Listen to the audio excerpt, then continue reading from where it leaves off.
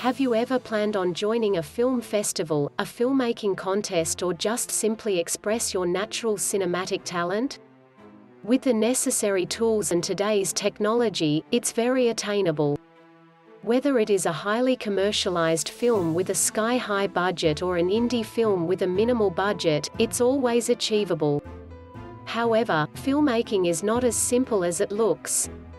Although you may have all the tools you need, it's extremely difficult to make a film on your own. Trying to be the producer, writer, director, cameraman, makeup artist and actor all in one is a maddening task. It's one thing for TV field reporters to be a one-man band, as they call it, setting the shot and then filming themselves, but it's quite another task to make a theater-worthy film the same way. It's better to assemble a team of film crew members, because it makes the workflow easier. Once you have found your crew, you can start working. One of the things you and your group need to think about is how to produce the film. Who is going to pay for the expenses? You can invest some money and produce the film yourself, or you can seek out independent producers who help launch films they see as having a lot of potential. You should also consider whether or not you would want to enter a film festival. Most young filmmakers join film festivals to be immediately recognized. It's also a place to network for your next film. When making a film, you cannot just place actors in front of the camera and ask them to act. They expect to read lines from a script. So unless you are making a documentary where everything is natural and nothing is scripted, don't cast your film until you know what characters are needed. You also need to decide what type of movie you want to make. Is it a horror film, a comedy, a drama, or a thriller, for example? Once you've decided that, you need to come up with your high concept statement, which is the movie equivalent of the 30 second elevator pitch used in other types of businesses. Once your script is complete and financing is in place, you are ready to hire actors to play the roles called for in the script. Movies are unlike stage productions where a person can take multiple roles, unless you have an actor as gifted as Eddie Murphy, who played multiple characters in the original Coming to America. Expect each actor to play just one part in your film. Studying, memorizing and internalizing the script are the responsibilities of each actor learning their role. At the same time as you are picking actors, you need to be selecting your crew.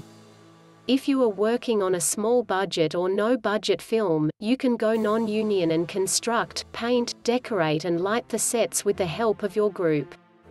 Even if you are a novice filmmaker working on a meager or non-existent budget, this should not be an obstacle for you. After all, this is just the beginning of your career. As long as everyone knows up front that this is a low pay or no pay gig in exchange for a copy of the film for their demo reel, it's cool. That said, you may still want to hire an entertainment attorney and an accountant to keep you within the laws governing films. You may also need to buy permits for certain filming locations. Talk to your state's film department for more details. Never promise money you can't pay. Never promise a union gig and then hire non-union personnel. Mistakes like those can kill your film and possibly trigger a cease and desist order from the unions. Once everything is prepared and you have your equipment, you can start filming your movie. The best thing about recent digital technology is that filmmakers do not use film rolls, hence it doesn't matter, within reason, how many takes you make to create a perfect scene, because digital memory is easily attainable. But don't be a perfectionist if you're clumsy. You'll only make your cast and crew think you're a fool and maybe even quit the set. After all the shooting is finished and you've had your wrap party, it's time to enter post-production and edit the film. The director must be involved in the editing so that the editor has guidance on how the completed film should look.